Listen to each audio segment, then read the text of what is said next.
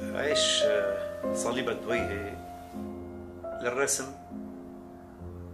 ومن الرسم لأنه عمليا ما عمل شغلة تاني بحياته وأخذها كمورد رزق وترك بعد غيابه ترك وراه تراث ضخم. من الأعمال الفنية الموزعة بلبنان والخارج. وما في شك أنه بعد انتقاله للغرب صار جزء من حركة الفنون العالمية وحجز لنفسه مقعد بعيدات المبدعين الخالدين. ندر صليبة عيناه وفكره وأنامله للمشهد اللبناني. اللي بلش ذوبانه فيه لما صار يرسم الطبيعة بجبالها وديانها بسماها وشجرها بتيابها وفصولها. ولما رسم حياة الضيعة بهيئة أهلها وبوجوه الفلاحين والمزارعين والحسان وبيوت التراب وبيوت الأرميد والساحات والسهرات والكنايس والأديرة. عرف صليبة عرف كيف يفتش عن خصوصيته. ولقاها بطريقة تصاعدية. لما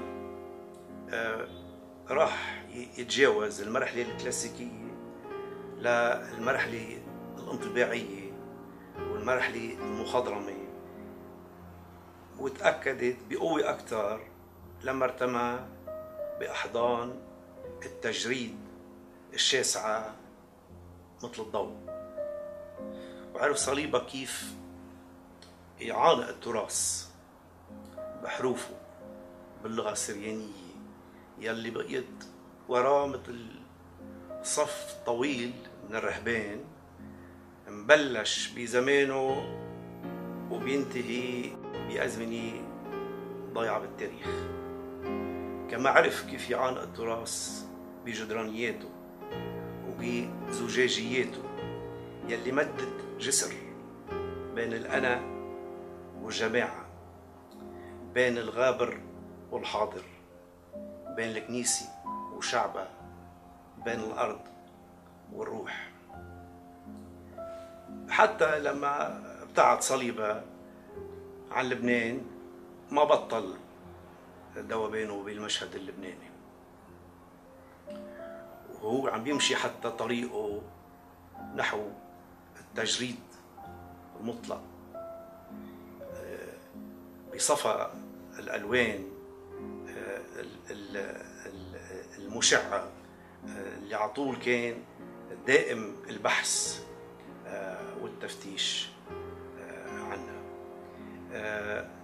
لما صار صليبة نور سنة 94 كان مضى عمر هو ويفتش عن منابع الضوء بشرقه بلبنانه بفجره بغروبه ببصره. وببصيرته وبروحه. وهذا الضوء عم بيشع اليوم من كل أعماله. بتجربته الغنية يعني اللي ربطت وطنه الأم لبنان وربطت إهدن بالعالمية. كتار كتار قالوا كلمتهم وبعدهم. أنا بشغلي الخاص أخذت ناحية هي رسائله. رسائله حتى يعني برهن إنه من خلال خيط هالرسائل اللي اللي اللي ما انقطع إنه على طول على طول كان في ألم حد الريشة. بعد 40 45 سنة غربة وابتعاد عن لبنان ضل متمكن من اللغة العربية. رسائل يعني بتضفق منا الحنين للوطن الأم آه، مثل ما بيتضفق من لوحاته. وبتشهد هالرسائل على مقدرته بالتعبير. لدرجة بتقول إنه مع إنه ولا فنان لبناني آخر قدر يضاهيه. عينة من هالرسائل هي رسائله اللي كان يسميه جاره العطيق الأستاذ أديب زعتر. آه، يلي حفظ له صليبة آه، كل حياته آه، جميل اعترافه المبكر فيه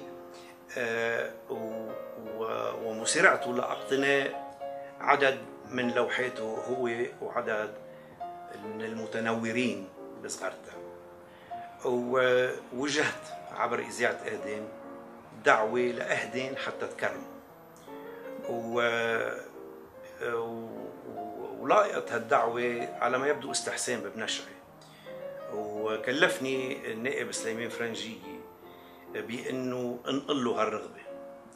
آه، فاستعنت بصديقي الدكتور أنطوان دويه اللي كان بعده مقيم بباريس وبشقيقه سمير حتى آه، حملوا له آه، رغبتنا.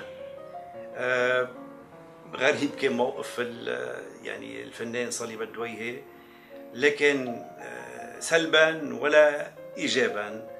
ضل يعني آه، معلق على حبال الحيرة آه، وما في شيء يعني وضع حد لهالحيرة يعني بال 91 إلا وفاته سنة 94 أنا بعتبر إنه هالسنة يعني يلي أعلنتها بلدية صغرتها إهدين سنة صليب الدويهه بالنسبة لأهلي.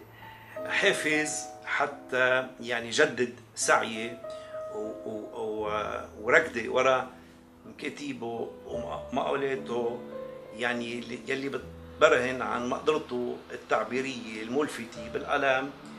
أه وحتى برهن إنه صليب الدويهه فنان معروف إنما أديب مجهول وما في شك إنه هالمسعى بعد بده استكمال وصليب الدويهي عظيم من عظمائنا وبيستحق